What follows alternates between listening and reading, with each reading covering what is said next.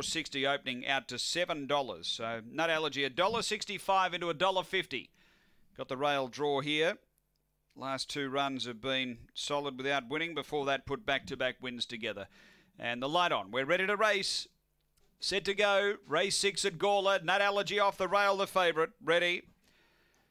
Racing, Nut Allergy stepped well and had plenty of room to move too because Victor Pedrosa stayed up the track a bit and Nut Allergy railed through and got a sweet run. Away by two on Victor Pedrosa, out wide a Kind Girl, then Justice Elite, next is Prophetess, railing up Just a Tip and then Aston Groucho, last of all Assertive Fury, they're racing down the back, it's Nut Allergy, out by three on Prophetess who's closing the margin, uh, then Kind Girl and next is Aston Groucho. Up to the turn, Prophetess ranging up to Nut Allergy here, Nut Allergy and Prophetess, Prophetess doing doing better. And Prophetess drew on to beat Nut Allergy. Third home Aston Groucho, then Kind Girl, Just a Tip.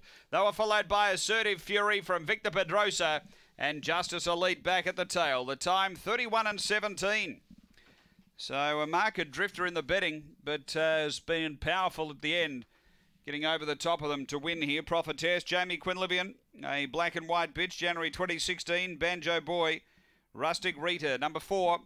Second to one, Nut Allergy, Scott Feltus, a black dog, April 2015, Lochinvar Marlow, Ticket to Mars.